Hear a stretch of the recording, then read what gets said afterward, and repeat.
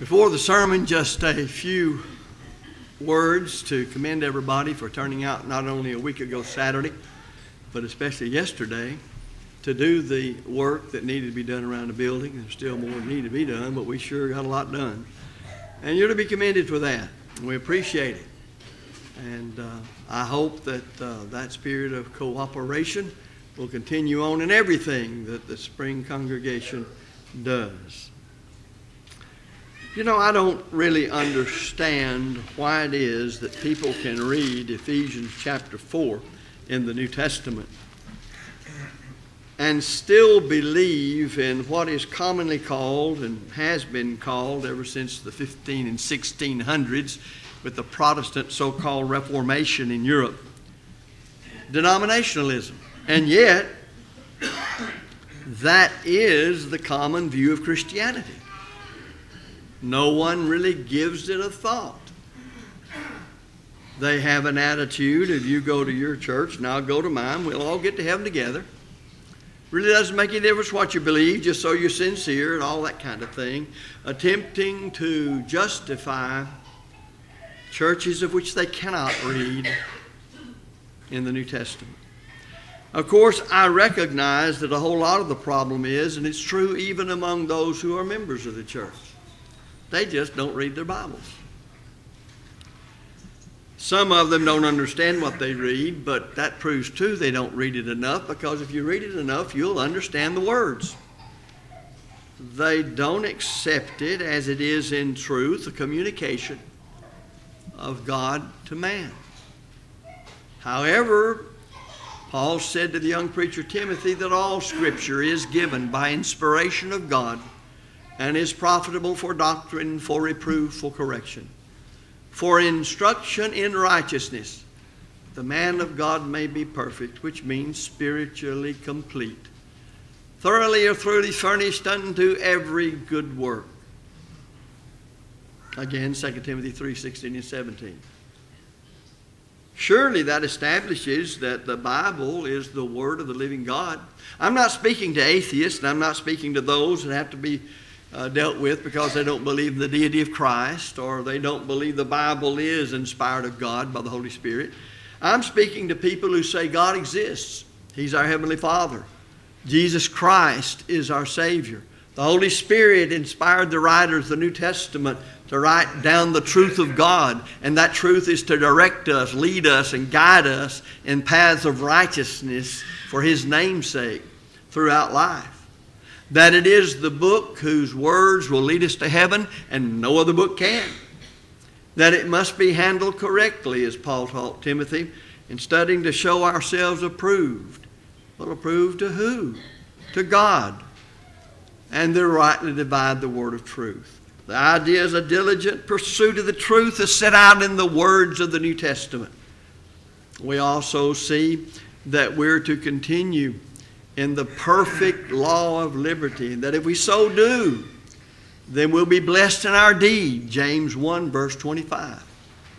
So I turn back to Ephesians 4. He writes to the Lord's church in the city of Ephesus in Asia. And he says, I, therefore, the prisoner of the Lord, beseech you. He's on bended knee as it was, begging them that ye walk worthy of the vocation wherewith you're called with all lowliness and meekness, with long suffering, forbearing one another in love. And then he says something endeavoring. Well, when you endeavor to do something, you put your all into it. You're steadfast and unmovable and involved in it. So, endeavoring to do what? There's something members of the church to be faithful to God must do. Number of things, but here is one of them to keep the unity of the Spirit in the bond of peace. Not the unity of men, but the unity of the Holy Spirit. Now, where do you find anything about the Holy Spirit? Well, I will read in Ephesians 6 that the sword of the Spirit is the Word of God, Ephesians 6 17. You see, the New Testament is the New Testament of Jesus Christ. It's His last will and testament. But it's the Holy Spirit, the third person of the Godhead, who revealed the mind of Christ in the words of Christ. And that's why Jesus said, He that rejecteth me and receiveth not my words hath one that judgeth him. The words that I have spoken, the same shall judge him in the last day. John 12, 48. Thus we must have a thus saith the Lord for all we believe and all we practice. So we're back to Colossians 3:17 in like verses. Whatsoever you do in word or in deed, do all in the name of the Lord Jesus, giving thanks to God Father by him. To do anything in the name of Christ is to do it by his authority. It's not just calling out the name of Christ over anything, and because you called out his name, it becomes a holy thing. To do anything in the name of somebody else is to do it by his authority. You do something in the name of the state of Texas, you're doing it by the authority of Texas. We often see movies or even cartoons, and in reality, it's true of all law enforcement officers. Stop in the name of the law. That's by the authority of the law. A law enforcement officer has that power. We then, to be right with our Savior, must have authority from Him as it's set out in the New Testament. The perfect law of liberty, James 1.25, for all we believe and practice. So we're to endeavor to keep something. To keep what? The unity of the Spirit and the bond of peace. Then he begins to give us seven planks in God's platform for unity. Now, I said that people accept denominationalism. But look what you have here in the inspired word of the living God. And it'll read that way and mean the way it means on the day of judgment as it does now. There is one body. Now that's difficult, isn't it? There's not two bodies. There's not six bodies. There's not 5,000 bodies. There is one body. Well, what is the body? Well, that's not hard to figure out. If you'll go ahead and read your Bible and read it, and meditate on it, and read it, and learn about it, and do it every day, you know, really study it like you want to go to heaven. It's not just a lick in the promise. So my brethren don't even know that. And you can tell it when you visit with them. You, you deal with common things to all faith. I don't know what you're talking about. So it's come to pass that the Lord's church, my people are destroyed for lack of knowledge. And the only way you're going to get that knowledge is to get your nose in the book. To have the desire to know the truth. Jesus said, If you continue in my word, ye are my disciples indeed. And there's something else. Ye shall know the truth, and the truth shall make you free. John 8, 31 and 32. So there's one body. Colossians uh, 1.18 and in Ephesians tells us that that body is the church. The body is not one thing in the church, something else. The body is the church. The body is the church, is the house of God. The body is the church, is the house of God, is the kingdom of God. They're different terms referring to one and the same institution. There's one body of the saved. Christ is the head of that body. Nobody else but Christ. Yeah, but he's back in heaven ruling the right hand of God. How do I know what he wants?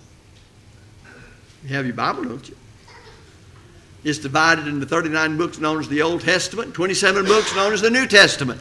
Whose testament? The New Testament. The New Testament of Jesus Christ. Now, when our Lord was on the earth, he could forgive sins any way he saw fit. But when he went back to heaven, he left his last will and testament. We understand that. Many of us have our last will and testament so that when we're dead and gone, our will be preserved back here on this earth as to how we want what we owned while we were here dispensed. I don't know why that's difficult to understand.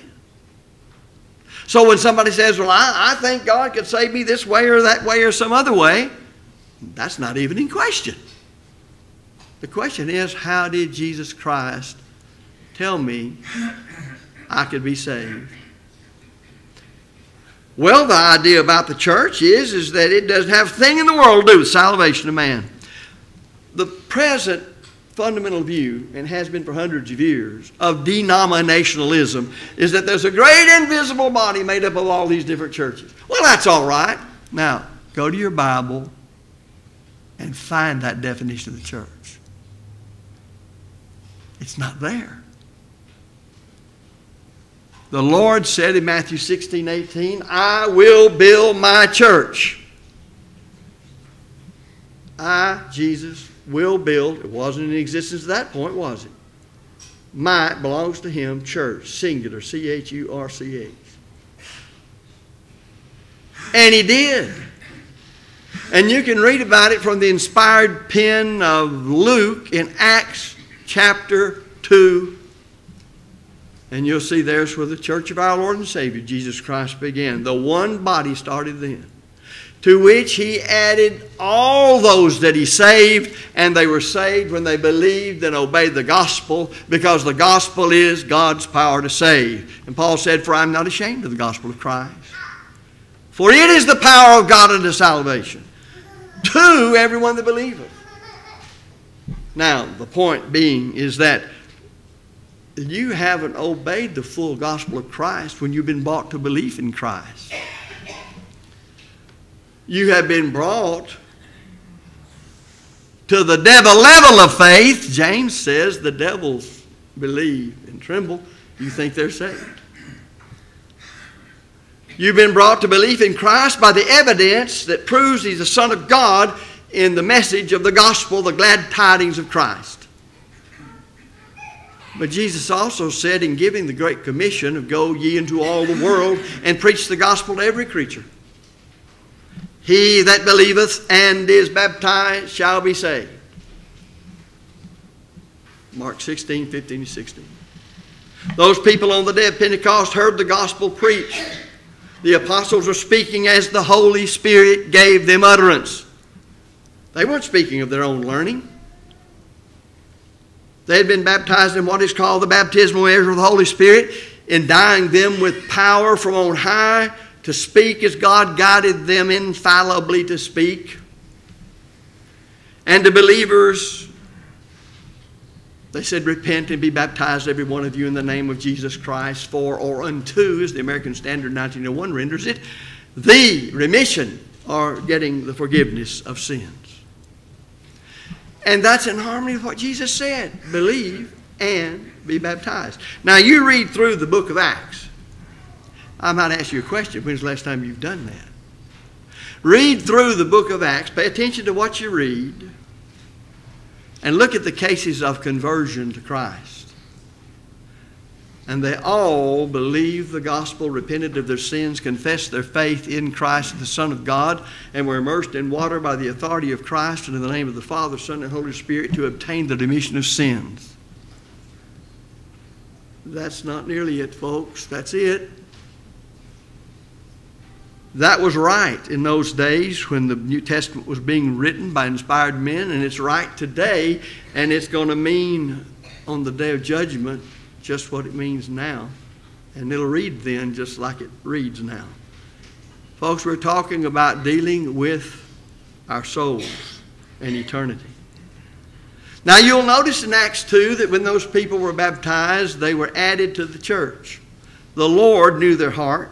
From the heart, they had obeyed that form of doctrine, the death, burial, and resurrection of Christ, and they were then made free from sin. Romans chapter 6, verses 17 and 18.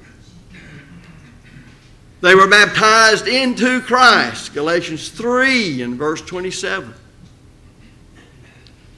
Now, we're on safe ground when we do what they did, when we comply with the inspired Word of God. But to do anything else says, I don't know what's going on really It's just my idea. I feel good about it. Well, why don't you train your mind to feel good about things religious only when you find authority from Christ in the words of the New Testament handled correctly to authorize you to act? Listen, we serve a king. He has absolute authority. We're not in a democracy in the church. That king's will is set out in the words of Christ in the New Testament. We can study if we want to. But you'll know that day of Pentecost, Acts 2, they didn't say, well, I'm saved this way, this one's saved another way, this one's saved another way through belief in Christ, and then we'll just pick a church that suits us best. Read your Bibles. Know it's the Word of God. Accept the truth of it. And you will not have that concept of the church because it's nowhere in the New Testament. Denominationalism is just simply wrong and foreign to the New Testament of Christ. The church of Christ, as that term, listen, as that term is used and defined in your own New Testament. Romans 16 16.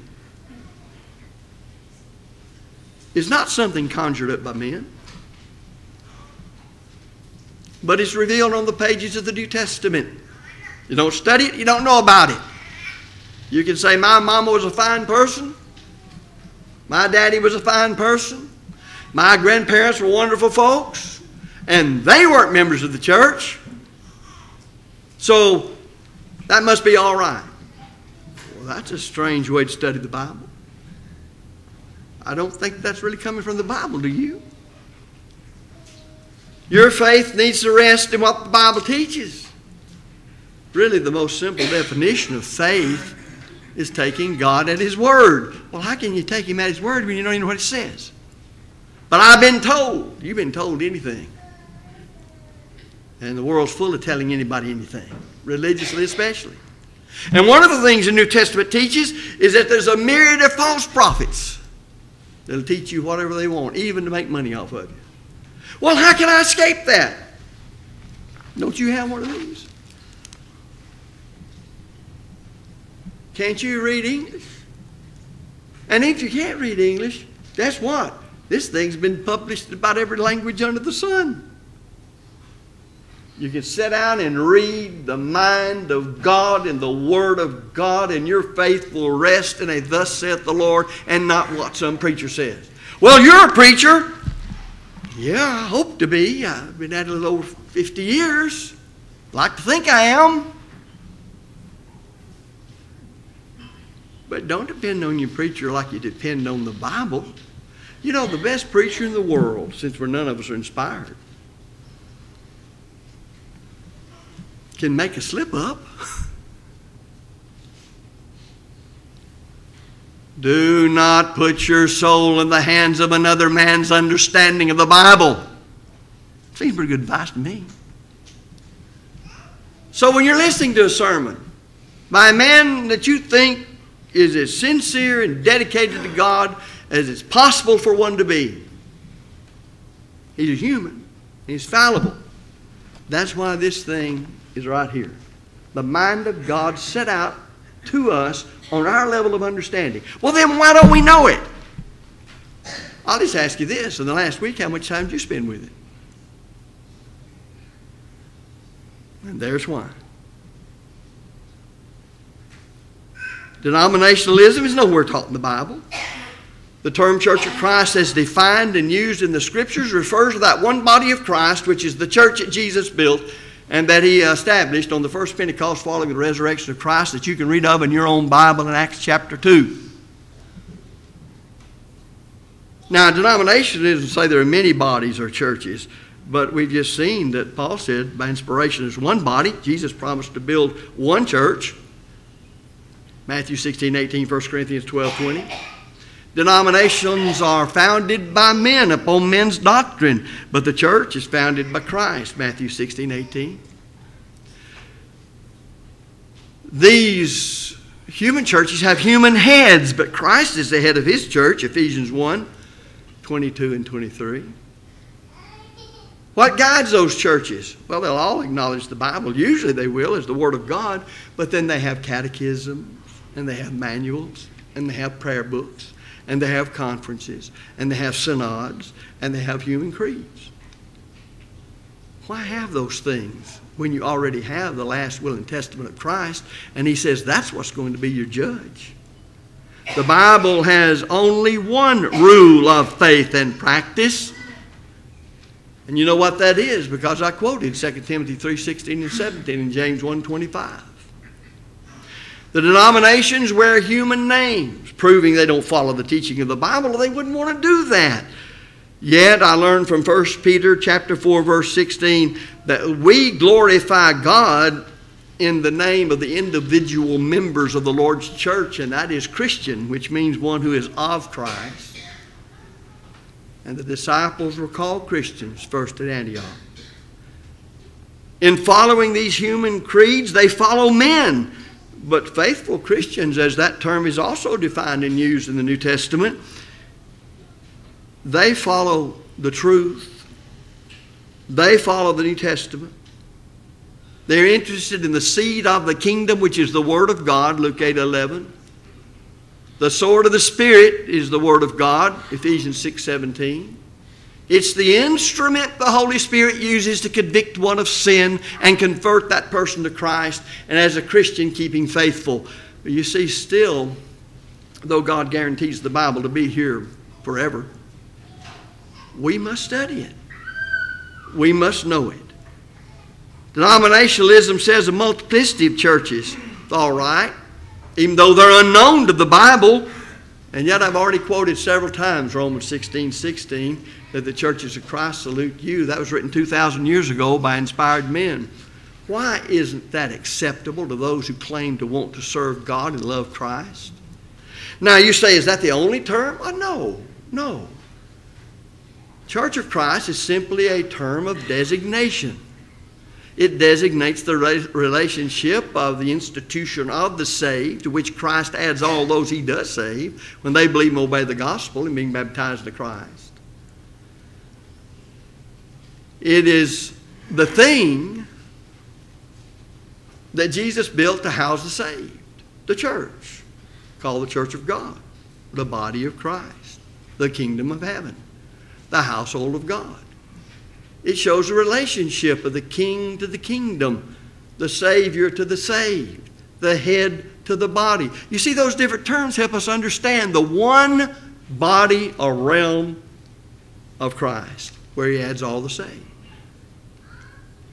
Membership in denominations is not essential to salvation. Why, they teach that all over the place because they don't believe the church has anything to do with the salvation of man. They believe you're saved by Christ in whatever way they believe it, and then you pick a church to go be a part of. But when you read your New Testament and accept it beyond anything else, you'll find out that membership in our Lord's church is essential to salvation ephesians 6.33 you don't even have to read past acts chapter 2 when the church was established to see that very thing he added to the church daily such as should be saved, or those as were being saved. Acts 2.47. You can't join the one church Jesus built. You're baptized into Christ and added to the church by the Lord because He knows your heart. He knows whether you from the heart truly obeyed that form of doctrine in being baptized. So He adds to the church. And you choose to be identified with the people who've all believed and done the same thing. That's where you do have a choice. And you're determined to be in fellowship with only those who are faithful to the full teaching of the gospel of Christ. The denominations preach many gospels. If they preached all the same gospel, they'd be all the same thing, wouldn't they? But yet, Paul said if a man preach any other gospel, a gospel that was different from what he preached to the churches of Galatia, then he should be condemned. Galatians 1, verses 8 and 9. And you know, these churches will have to rewrite or revote or do whatever they do their creeds and manuals and prayer books every few years. God gave his whole will forever in the first century and it's going to remain that way, Matthew 24 35. Many are trying to say there are many faiths. Well, there are, but that doesn't mean they're all right. But the Bible doesn't speak that way. And don't you want to speak as the oracles of God, which Peter commands that we do? The Bible speaks of one faith in that same Ephesians 4.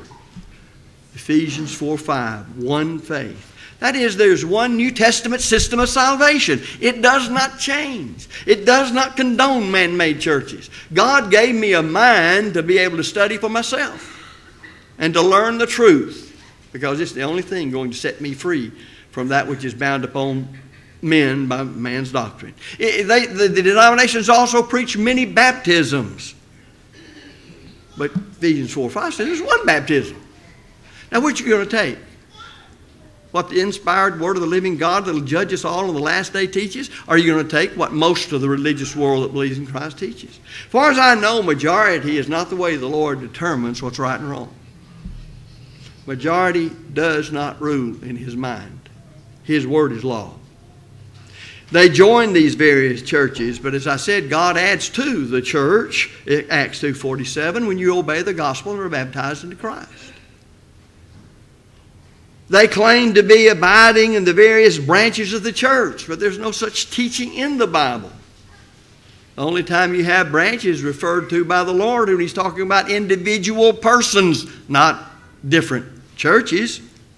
Jesus said, Abide in me, who is the true vine, John 15, 1 through 6. They will teach, walk by different rules. You don't find that in your Bible.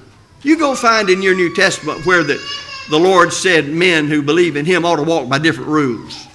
I do find in Philippians 3:16 that we're to walk by the same rule. Let me tell you something. There wouldn't be denominationalism on this earth if all men walked by the same rule. Paul rebuked the church at Corinth because of the divisions among them in 1 Corinthians 1 and verse 10. And he said to them, Be of the same mind and the same judgment. Do you mean denominationalism of the same mind and same judgment? And then there are those who will thank God in their prayer for so many churches. But Jesus prayed that we all would be one, even as his Father and he are one. And said that we need to be one because that's one of the ways of showing the world that we're what we ought to be as God describes it, John 17, 20 and 21. And then, and this rubs off on a great many members of the church, doctrine is really inconsequential. Doctrine just really doesn't make that much difference. Now, they really don't believe this. They're selective. They'll say, this is important, but this other doctrine is not important. Well, let the Bible tell you what you ought to believe and must believe in order to be saved. Paul told the young preacher Timothy what he needed for himself to be faithful and what he needed to preach to others. Take heed unto the doctrine, take heed to yourself, Take heed to others. And then he said, and you'll save yourself and all them that hear you, 1 Timothy 4.16. Now, if you want to be a preacher, don't you think it's a good rule to follow to save your own soul and those that hear you? Is to preach the one single solitary doctrine of Jesus Christ. Because John said, Whosoever transgresseth, or the American Standard says, goeth onward, and abideth not in the doctrine of Christ hath not God. How dare a person read that and then say doctrine doesn't matter? Who are you going to believe? Well, see, some people don't know to believe any different because this book is like that in their house on a coffee table or some bookshelf. It's never opened, never to be read. Some people think because they've got in the house, just by being there, it's going to some way run the devil off. We don't study our Bibles. We listen to this preacher, we listen to that one, but we don't pick up the Bible for ourselves and study it. Now, what I've given you in comparing and contrasting is, is should be, it's not all we could do, but it should be enough to show that if you listen to men, anything comes up. You remember when Jesus came to the coast of Caesarea Philippi, he asked his disciples, saying, Whom do men say that I, the Son of Man, am? And you know, anytime you ask that, as to who do men say, you have to start answering it like Peter answered it. Some say. I always say, ask that question, and the some says will jump out. Well, some say you're Jeremiah or one of the prophets. But then Jesus said, But whom do you say that I am? Peter spoke up and said, Thou art the Christ, the Son of the living God. You remember what Jesus said then? Blessed art thou, Simon Barjona, for flesh and blood hath not revealed it unto thee, but my Father which is in heaven. How did he do that? And many other signs did Jesus in the presence of his disciples, which are not written in this book. But these are written that you might believe that Jesus is the Christ, the Son of the living God, and that believing have life in his name. That's how God showed Peter and everybody else that Jesus Christ of Nazareth is the only begotten Son of God, that He is, as He said Himself in John 14, 6, the way, the truth, and the life, and no man cometh unto the Father but by me. Now, is that truth too narrow for you? If it is, it's too narrow to get you to heaven. Straight is the gate, and narrow is the way that leadeth unto life, and few there be that find. Because wide is the gate, broad is the way that leads to destruction, and many there be that go in there bad. Don't you want to not run with the crowd? Don't you want to sit down and study the mind of Jesus Christ who died for you?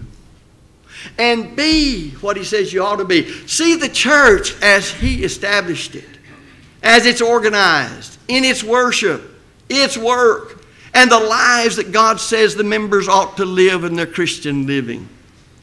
And then the great hope that we sang about earlier of eternity in the very presence of God, glorified in ways that we can't even begin to understand, where there's no death and there's no decay, where there's no sin or the consequences of sin, where life is lived forever in one eternal day.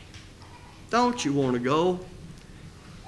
Don't you want to be in that state of bliss and glory? There's no reason you can't be except that you will not follow the rightly divided word of truth, but you will follow men in some sort of denominational outfit or whatever religion it might be. Come out from among all of that and abide by the truth. And remember, every time you look at your Bible at home, you need to ask, when's the last time I opened it and gave it a genuine, true study? We close this lesson thankful that you've listened. Hopefully, you'll take your Bible and check up on this preacher. That's what I invite everybody to do all the time. And really, how much do you really want to go to heaven if you don't want to be reading your Bible and listening to your God speak to you every day? If you're not a child of God, we've studied how one becomes a Christian, believing in Christ, repenting of his sins, confessing your faith in Christ, and being baptized for the remission of sins. The Lord will add you to his church, and you can live a righteous life in it. Now, there's a second law of pardon for the child of God. If you sin as a child of God, you're to repent of those sins, pray God for forgiveness, having confessed them if they're public, and that would be before the church. Privately, known only to you and God, take care of it that way. But be repentant. Have a change of mind. Break down your old stubborn will and say, Not my will, but thine be done. And turn back to the truth. We'll pray with you and for you. The great God of heaven who gave his Son to die for you for the remission of all men's sins will hear and forgive. The Lord's not slack concerning his promise, as some men count slackness, but is long suffering to usward, not willing that any should perish, but that all should come to repentance. The gospel is for all. It's been declared to you in your hearing today. And I stand before you knowing I've taught you the truth. And as far as this audience is concerned, or anyone that's heard me, I stand pure from the blood of all men. Now, what will you do with your life? If you need to obey the truth, we invite you to come while we stand and sing.